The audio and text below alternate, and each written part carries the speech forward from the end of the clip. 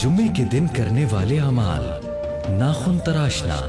हज़रत हुमैद बिन अब्दुलरहमान रज़ी अल्लाह ताला अपने वालिद से रिवायत करते हैं। जो शख्स जुम्मे के दिन अपने नाखून काटता है, अल्लाह तबारक व ताला उससे बीमारी निकाल कर शिफा में दाखिल कर देता है। जुमे की अदायगी के लिए जल्दी निकलना। नबी करीम सल्लल्लाहु अलैहि वसल्लम ने इरशाद फरमाया बिला शुबा तुम्हारे लिए हर जुमे के दिन में एक हज और एक उम्रा मौजूद है। लिहाजा जुमे की नमाज़ के लिए जल्दी निकलना हज है और जुमे की नमाज़ के बाद असर के लिए इंतज़ार करना उम्रा है। जुमा हज़रत सैदना अबू बकर सिद्दीक को सैयदना इमरान बिन हसीन रज़ी रिवायत करते हैं कि रसूल अल्लाह सल्लल्लाहु अलैहि वसल्लम ने इरशाद फरमाया, जो जुमा के दिन नहाए उसके गुनाह और खताएँ मिटा दी जाती हैं। और जब चलना शुरू करे तो हर कदम पर बीस नेकियाँ लिखी जाती हैं।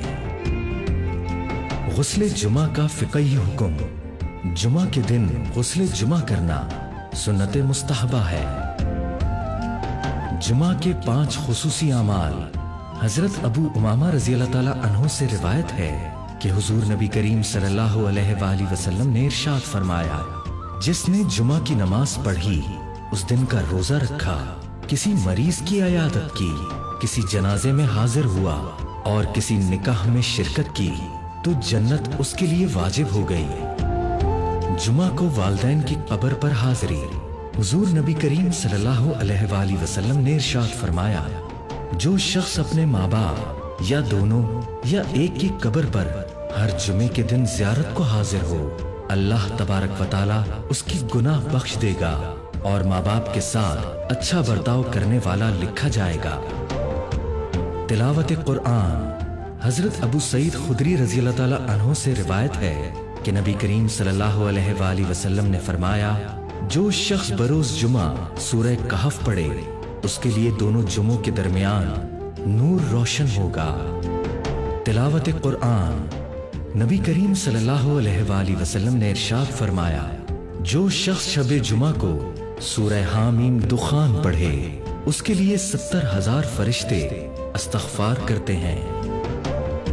दुआ हज़रत अबू हुरैरा रज़ी अल्लाह बयान करते हैं कि नबी करीम सल्लल्लाहु अलैहि वसल्लम ने इरशाद फरमाया, जुमा के दिन एक ऐसी साथ है जिसको जो मुसलमान पाए और अल्लाह तबारक व से जो भी सवाल करे, अल्लाह ताला उसको अता फरमा देता है। और ये साथ बहुत थोड़ी देर रहती है।